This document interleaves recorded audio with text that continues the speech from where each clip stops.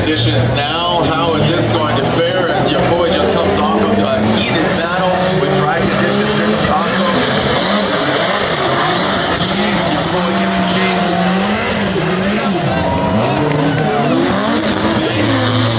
Consistently wet. They're gonna get flagged. Yeah, there's a red flag. And, uh, yeah, it's, thank you so much.